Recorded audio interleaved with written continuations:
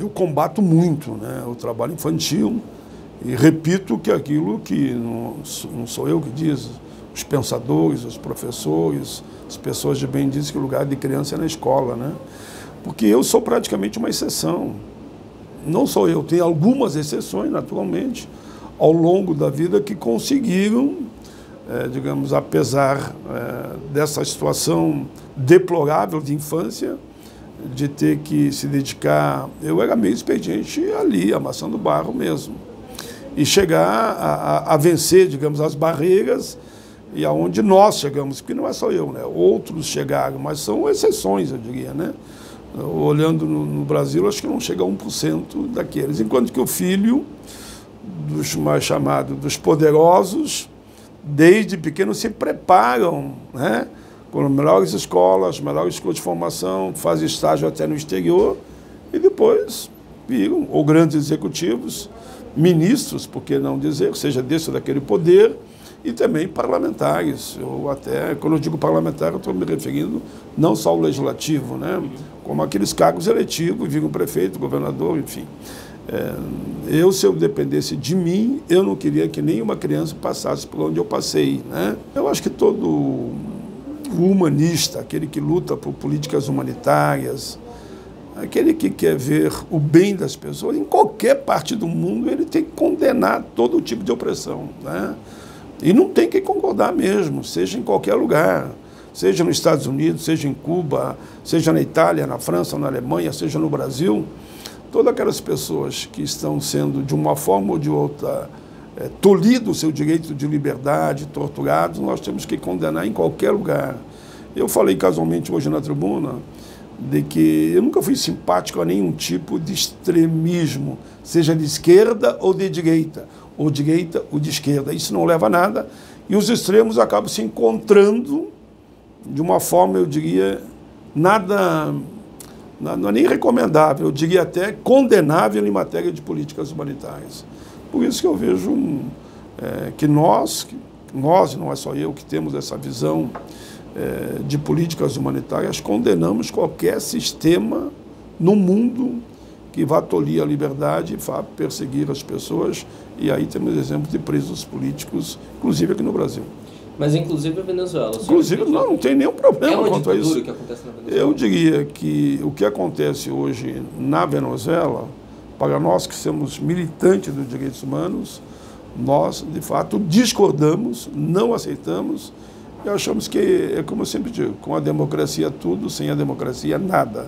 Ninguém inventou no mundo nem um sistema melhor que a democracia. E não vão conseguir inventar, porque a democracia é a liberdade plena, é o direito de opinião, de expressão, é divergir.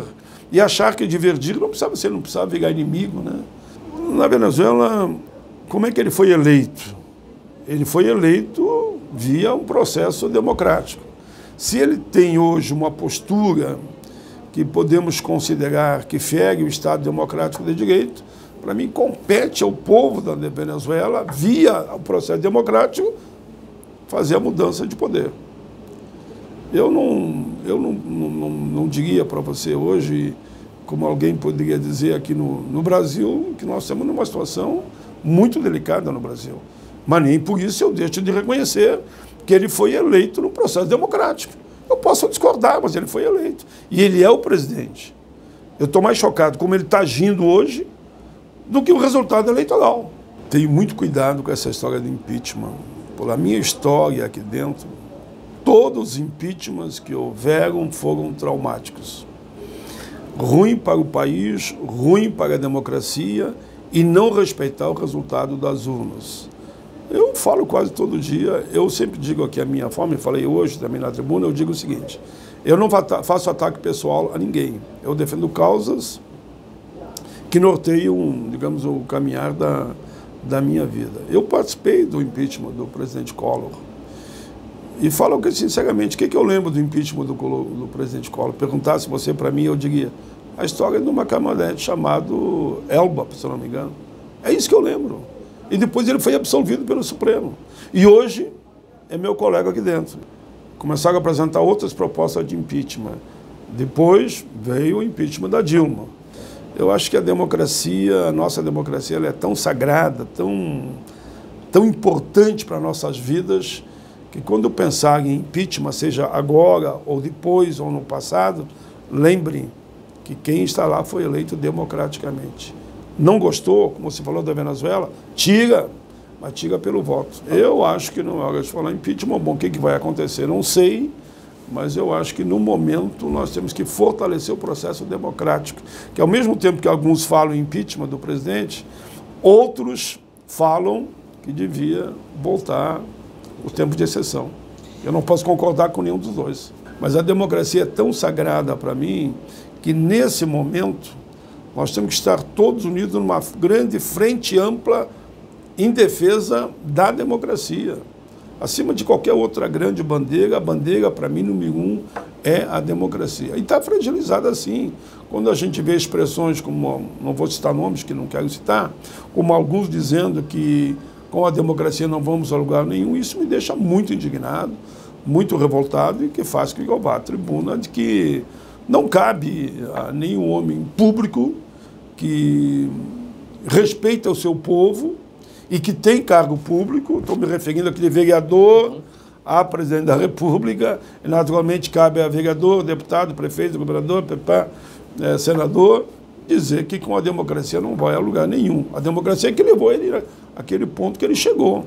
Então tem que haver respeito com a democracia, temos que ser, eu diria, apaixonados, amantes da democracia, acariciar a democracia, como se fosse a coisa a questão mais importante do nosso país. Né? Acho eu que o PT falha e falhou, falha aí que eu vou entrar aquilo que não foi falado, porque o resto já foi falado, quando não dá para a gente achar que só é bom uma composição ampla em nome do país quando eu estou como candidato à presidência, por exemplo. Né? Eu vi isso lá atrás, vi isso agora, né, que há momentos que a gente tem que ter alternativa de poder para o bem de um projeto de nação que o conjunto defenda. Né? Eu acho que, tudo bem, os dois anos do presidente Lula, eu acho que foi uma coisa que marcou perante o, o mundo. Né? Até hoje a gente vê aquelas cenas que o Barack Obama chegando para ele dizendo você é o cara tal, né? Isso marcou e para nós é orgulho a nível nacional. Mas ah, depois, no segundo momento, houve a eleição da presidenta Dilma, mas ali no terceiro momento, acho que é era, era a hora de nós pensarmos em ampliar mais, até para manter aquela força, digamos, que vinha de baixo para cima, que nós tínhamos. Eh, o Eduardo Campos, eu confesso, não é porque ele faleceu, que ele era um nome que tinha que ser lembrado. Tinha que ser lembrado, né? Ele tinha que estar ali naquela composição, ou de, ou de candidato a presidente, ou de vice, né? É, como não nego que o Ciro também tinha que ser lembrado em momento da história, por que não lembrar do Ciro? Qual é o problema? Tinha que ser lembrado. Em 2018, o candidato do PT deveria ter sido Ciro, não do PT, o candidato apoiado pelo PT deveria ter sido Ciro? Poderia ter sido. Eu diria que poderia ter sido. Poderia ter sido, poderia ter sido. Talvez o cenário não fosse esse hoje. É, se, como digo que poderia ter sido, seria, digamos, é,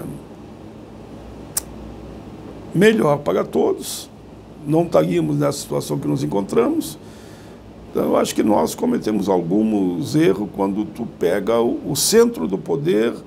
Sim, tudo bem, eu quero uma frente ampla, mas desde que eu seja o candidato máximo no processo eleitoral de uma frente. Quando fala em frente ampla, tu tem que olhar para o todo, que eu gosto muito de frente ampla, pode ver que eu estou insistindo em falar muito de frente ampla.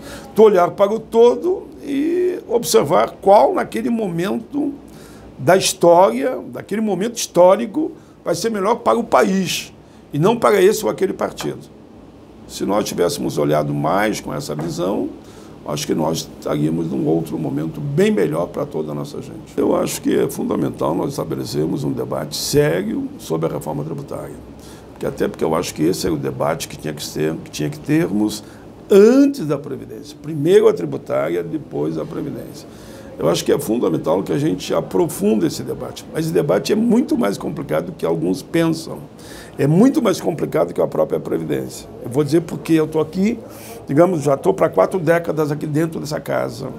Eu vejo sempre falar reforma tributária e pacto federativo. Só que ninguém abre mão de nada. Aí nós estamos brigando com o poder mesmo. Tu acha que aqueles que mandam no poder desse país vão abrir mão numa reforma tributária para atender os mais pobres, como, por exemplo, a reforma tributária progressiva, justa, solidária, onde os produtos de primeira necessidade de consumo, como a gente fala, vão ser rebaixados, os tributos, e vamos tributar, sei lá, salmão, é, jatinho, é, lanchas, enfim, não vão. Então, eu só dei como exemplo isso aí. Mas é um debate muito complicado, mas nem por isso nós vamos deixar de fugir é, desse debate. Dizer da minha alegria de participar é, praticamente todos os anos do Congresso em Foco. Acho que não só não participei o primeiro, foi muito tempo atrás, né? E de lá para cá, é, sempre fui lembrado de uma forma, de, me lembro, uma foi de defesa do consumidor, outra foi de defesa da segurança, estou lembrando algumas, né? Mas esse do jornalismo eu considerei o, o mais importante para mim, que são pensadores, são pessoas que acompanham de fato o dia a dia dentro do Congresso de cada parlamentar. E eu acho que essa minha luta, né, porque a minha luta aqui dentro, a minha caminhada de participar de, de debate, fazer o bom combate, é sempre por causas. Né? Eu não, não me limito à extensão partidária. Quando a causa é justa, eu estarei sempre do lado daquela proposta que venha beneficiar o interesse de toda a nossa gente, seja negro, seja branco, seja índio, seja cigano, seja migrante, seja imigrante, seja pessoa com deficiência, seja idoso, seja criança, seja mulher, que é tanto ataque contra as mulheres no dia de hoje, né? E o Congresso em Foco, para mim, nesse momento de tanta fragilidade da nossa democracia, ele é como um farol, farol dizendo a democracia está firme, viva a liberdade, né, forte com esse sentimento e não se recolhendo e nem se intimidando. E afirmo isso, e estou falando pelo trabalho, inclusive, de vocês. Achei muito bonito o trabalho que vocês fizeram naquele vídeo que foi apresentado no encerramento. Um vídeo corajoso, verdadeiro e sinalizando, como eu sempre digo, e disse lá, com a democracia tudo, sem a democracia nada. Acho que um pouco foi isso, né? porque essa minha visão de mundo que eu tenho, onde a pauta de atuação é sempre fazer o bem sem olhar quem.